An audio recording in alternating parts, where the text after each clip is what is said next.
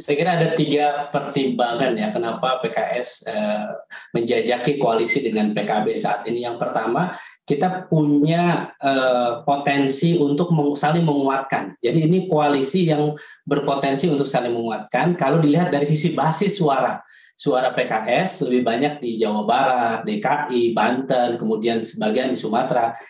Sedangkan PKB ada di Jawa Tengah, Jawa Timur. Jadi ini peta kekuatan yang eh, saya kira bisa saling melengkapi. Yang kedua adalah kami memiliki komitmen agar ke depan memang koalisi atau poros capres lebih dari dua pasangan capres.